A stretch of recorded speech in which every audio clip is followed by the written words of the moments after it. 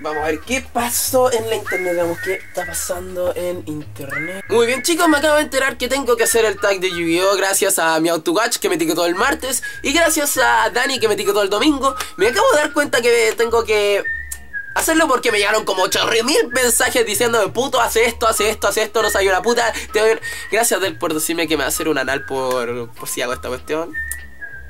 Yo sé que me quieres. No, no somos correspondidos, hermano. Somos de otros países, lo siento. Me- te- lo siento. Muy buenas, comunidad. Y tuve que dar cosas en la cara trayéndoles el tag de Yu-Gi-Oh! Comencemos.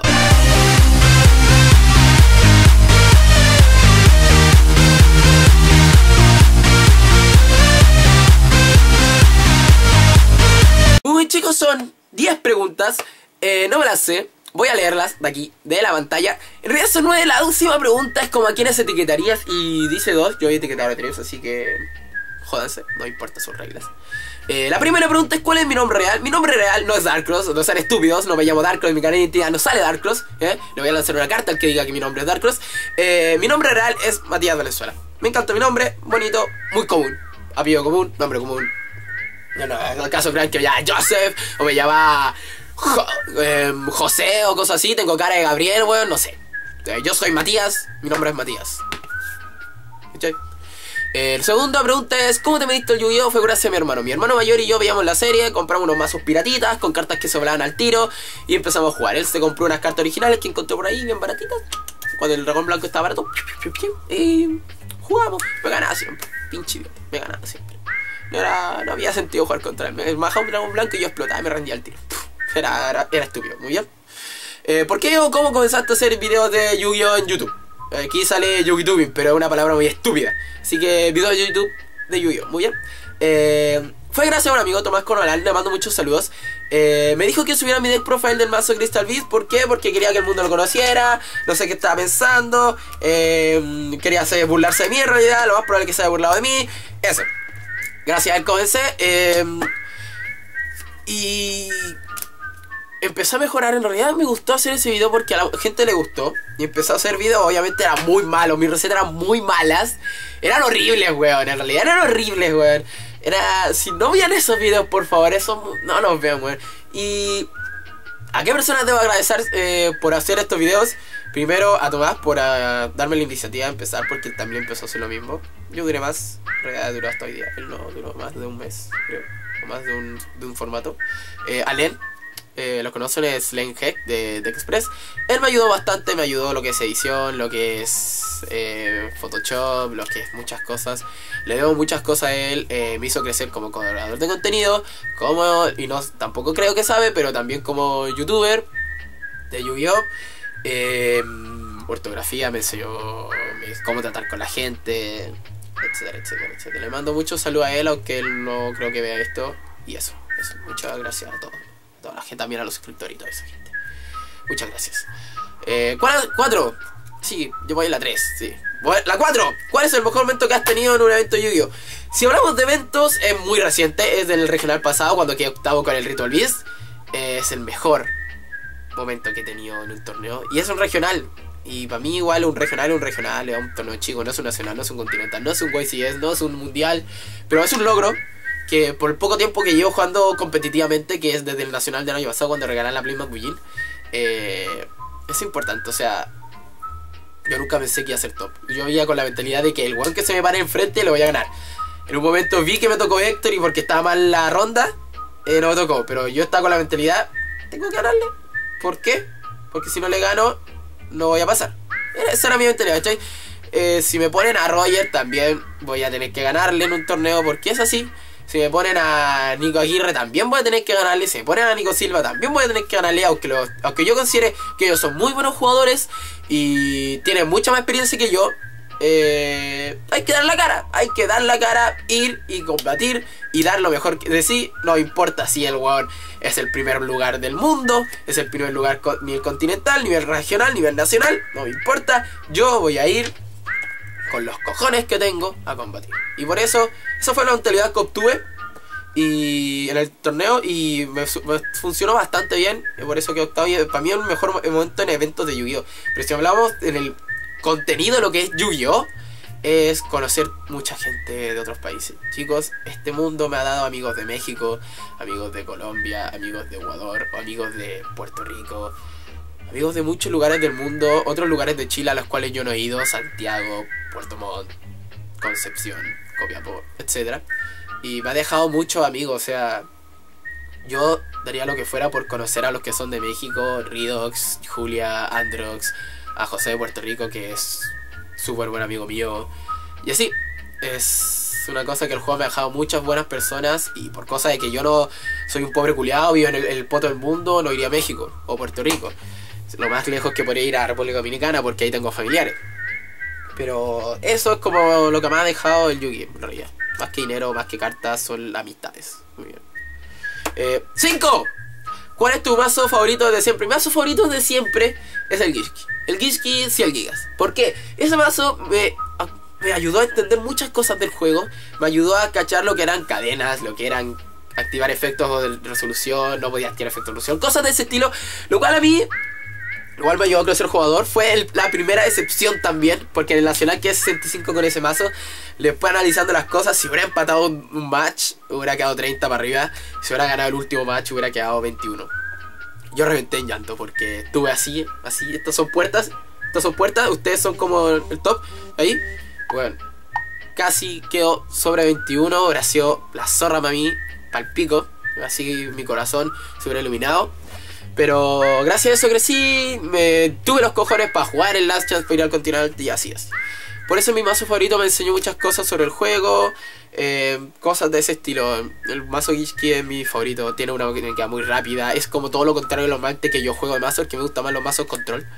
Es un mazo TK, un mazo agro, muy bueno, me encanta ese mazo, no lo cambiaría por nada. Lo tengo guardado aún y no lo vendería. Aunque tuviera mal, mal de plata, no lo vendería, no lo vendería Número 6. ¿Por qué juegas Yu-Gi-Oh? Bueno, yo juego Yu-Gi-Oh porque es un hobby, es me entretiene jugarlo. No me importa que el meta sea aburrido, yo voy a entretener jugando porque es algo que me hace feliz. Me hace bastante feliz jugar Yu-Gi-Oh! Eh, me desestresa, me libera el mundo. es una cosa de que... Em, además de que me ha hecho conocer muchas personas buenas, muy buenas personas, y además malas, personas muy malas. No les voy a decir que todos mis son ojuelas. Eh, el juego me entretiene bastante. Me la paso bien jugando. No. Si me pico por un momento y después, como ya, pico, pasó, pasó, listo, eso. Pero. Es un hobby. Le meto dinero, le meto tiempo, pero es un hobby. No me interrumpe los estudios ni nada. Es un hobby. Muy divertido para mí. Muy divertido, sí, sí, sí, muy divertido. Bien. 7. ¿Cuál es tu juego favorito de todos los tiempos? Ya saliendo del juego, lo que es Yu-Gi-Oh! y todo eso, la pregunta es como más personal. Eh, mi saga de juego favorito es Kingdom Hearts. Kingdom Hearts es un juego que me encantó desde que jugué el 1 y me enamoró cuando jugué el 2. Eh, tiene una historia muy buena, más allá de que los personajes sean de Disney y algunos critiquen esa weá, porque sí, he leído comentarios sobre eso. Eh, me, entretiene, me entretiene jugarlo, su modalidad de juego es innovadora a mi parecer. Es como un RPG en, libre, más o menos. No sé, no sé cómo explicarlo. Me entretiene el juego, me encanta. Me jugado el Kingdom Hearts 2 miles de veces. El Kingdom Hearts 1 me lo completé una sola vez y al 100%. El China Memory me aburrió. Me aburrió, no me gustó el mecánica de juego de ese juego. Pero eso es mi saga de juegos favoritos. Si hablamos fuera de sagas, Mega Man X, eh, Mega Man X8 juegos muy buenos para mí.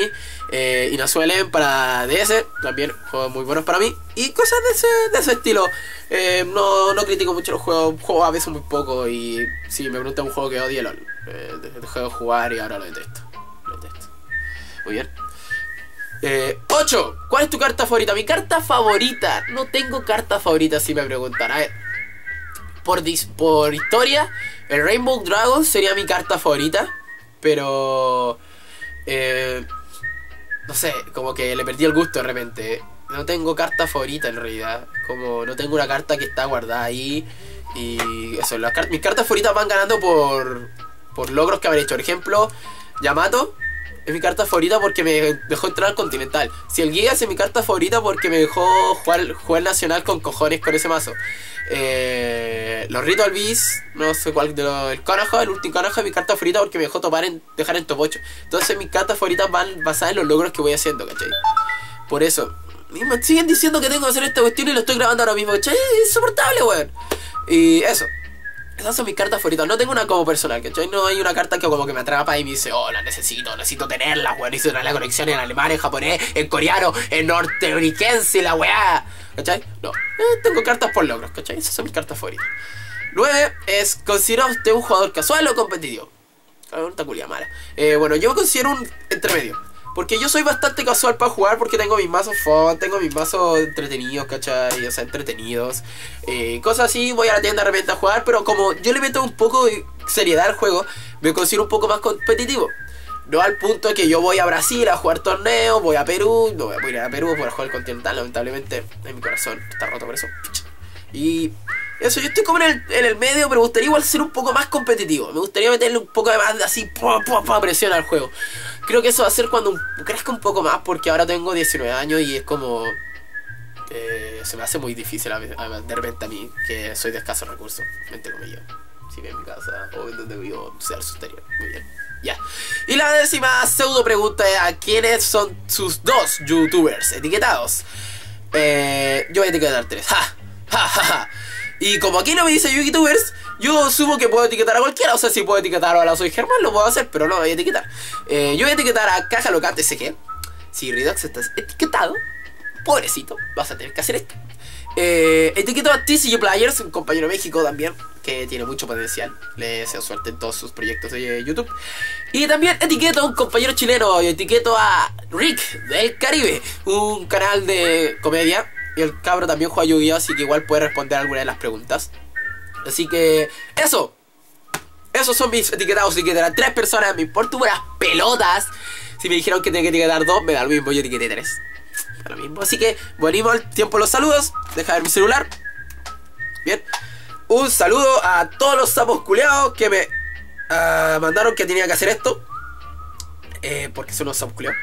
Eh, le mando un saludo a todos mis amigos. Le mando un saludo a, a Del Kawaii Desu, el que de Yu-Gi-Oh! Profesional. Me importa una, paja, una pija de donde sea.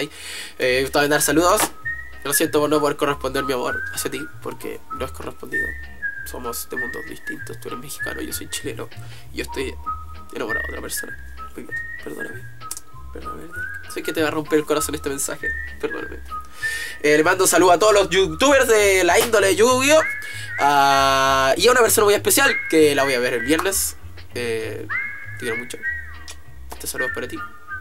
Eh, eso. Eh, cosas lindas, corazones, cosas bonitas. Bien. Bueno, eso. Recuerden, comentar y suscribirse, dale like al video. Esto ha sido todo por hoy. No me sigan hinchando porque ya lo grabé.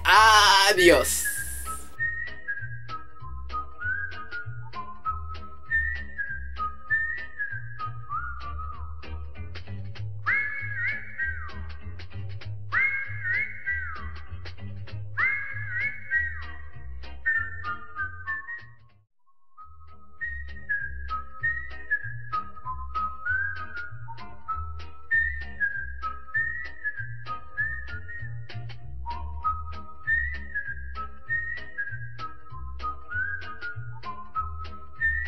¿Pensaron que insultar a alguien en este video? ¡Idiotas!